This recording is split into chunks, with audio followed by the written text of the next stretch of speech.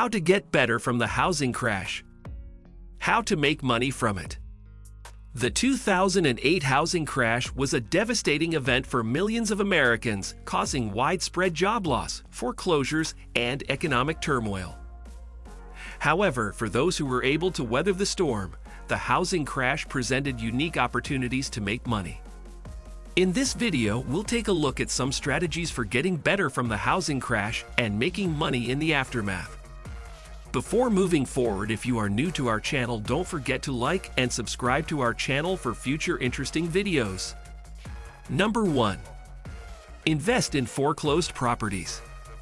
One of the most common ways to make money after a housing crash is to invest in foreclosed properties. Foreclosed properties are often sold at a steep discount as banks and lenders try to recoup their losses. This presents an opportunity for investors to buy properties at a lower price and then sell or rent them out for a profit.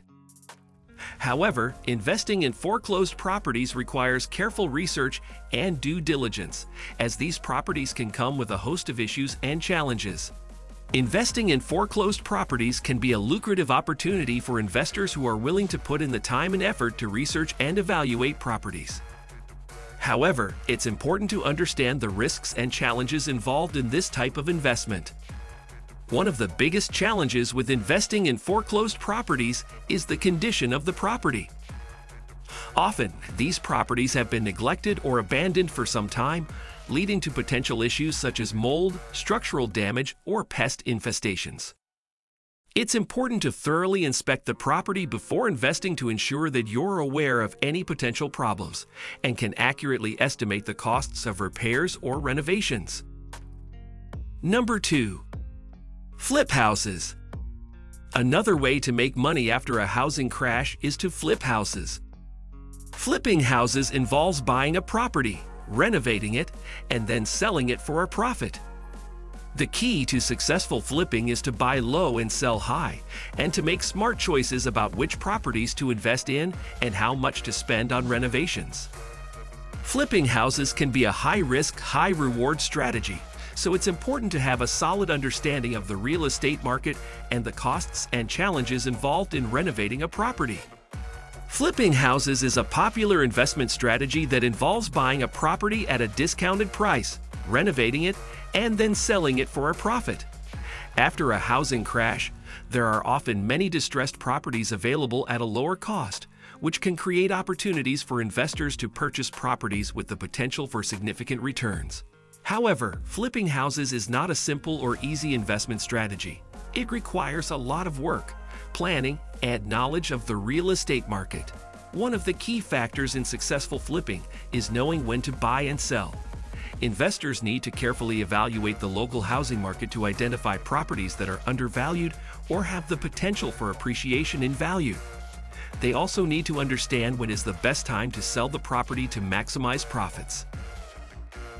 Number 3. Rent out properties. Another option for making money after a housing crash is to rent out properties. Rental properties can provide a steady stream of income, especially in areas where there is high demand for housing. However, becoming a landlord comes with its own set of challenges, including finding reliable tenants, managing maintenance and repairs, and complying with local regulations and laws. Renting out properties can be a great investment strategy after a housing crash, especially in areas where there is high demand for housing. Rental properties provide a steady stream of income and can offer long-term benefits such as building equity and appreciation in value. However, becoming a landlord is not a simple or easy task. It requires a lot of work, time, and effort to manage a rental property. Number 4. Invest in REITs. For those who don't want to get directly involved in real estate investing, one option is to invest in real estate investment trusts, REITs. REITs are companies that own and operate income-producing real estate, such as office buildings, apartment complexes, and shopping centers. By investing in a REIT, investors can earn a share of the income generated by the properties without having to manage the properties themselves. Number 5. Buy and hold. Finally, one strategy for getting better from the housing crash is to buy and hold properties. Buying and holding involves purchasing properties at a low price and then holding onto them for an extended period of time, with the expectation that their value will increase over time.